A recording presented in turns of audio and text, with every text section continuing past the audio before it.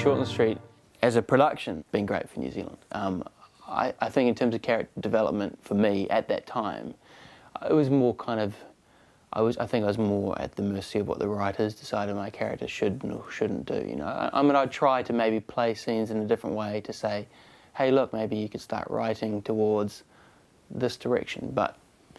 Um, you know, I mean, it's a, it's a fast turnaround TV show. Um, for me, it was it was good experience though in terms of getting used to being in front of the camera and learning lines every day. With so many lines to learn every day, you know, day schedule we shoot. I don't know how many scenes it would be, but we'd shoot about half an hour a day, which is a lot considering you know. Normally it's what, two minutes a day, a minute, couple of minutes a day, five minutes a day if you're lucky. Um, so it was good for doing a performance and seeing myself back on TV quite quickly. You know, every day I could watch myself and think, you know, what worked and what didn't really work. And, uh, you know, getting used to being relaxed. Because I think young, as being a young actor, you, you sort of have this enthusiasm and keenness, but actually a lot of times that keenness can come across as quite a pushed sort of energy.